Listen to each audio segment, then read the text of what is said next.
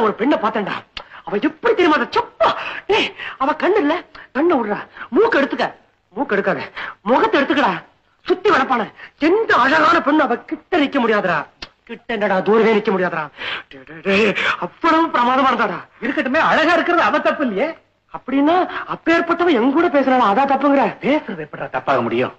டேய் அவன் என்ன பார்த்து ஐ லைக் யூ உங்களை எனக்கு ரொம்ப பிடிச்சிருக்கு. அப்படின்னு சொன்னாடா. ஆ, அப்புறம் ஏடா இதுல இருந்து அவளுக்கு என் மேல நல்ல பெரிய இருக்குன்னு தெரியுதுல்ல? நிச்சயமா நிச்சயமானடா நிச்சயமா. அவ பிறந்த நாளைக்கு எனக்கு மாத்திரம் தான் அழைப்பு அனுப்பிச்சிருக்கான் பாக்கி எந்த பையனுக்கு அனுப்பல தெரியுமா? ராகவன் அவன் என்ன பார்த்து உங்களுக்கு கல்யாணம் ஆயிடுச்சா? அப்படின்னு கேட்டாரா கேட்டாளா?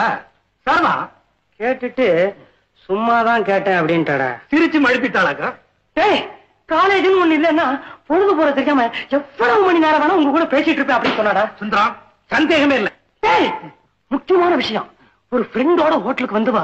ஹேண்ட்பேக் இல்ல கைப்பை. அதை மறந்து வச்சுட்டு அதுக்காக இன்னொரு தடவை வந்துட்டு போயிருக்காடா? தனியா தானே வந்தா? ஆமா ரெட்டை தடிய வெளிய விட்டுட்டா.